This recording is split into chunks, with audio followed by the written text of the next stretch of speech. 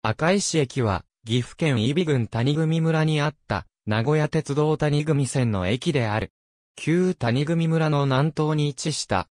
1926年に、谷組線の前身である、谷組鉄道の駅として開業した。同線は2001年に廃止され、それと共に廃駅となった。単式ホーム一面一線のみを持ち、列車交換はできなかった。田畑が広がり、その先に人家がある。ネオ川を挟んだ対岸には、工場が立地し、垂水鉄道、垂水線も通じている。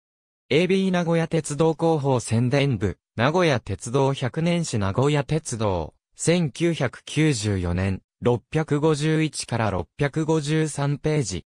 地方鉄道運輸開始、官報1926年4月13日、AB、岐阜のちんちん、電車岐阜市内線と美濃町、伊比、谷組線の85年郷土出版社、1997年、220から230ページ。ISBN 4から8767000974。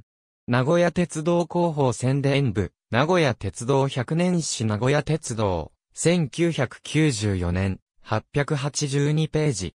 今尾圭介、日本鉄道旅行地図帳7東海、新潮社、2008年、53ページ。ISBN 978から4から10から79万25から8。電気車研究会、鉄道ピクトリアル通貫第473号1986年12月、臨時増刊号、特集名古屋鉄道、富士、名古屋鉄道路戦略図、川島慶三、全国鉄道事情大研究名古屋北部、岐阜編1、創始者、1997年、146ページ。ISBN 4から7942079664。ありがとうございます。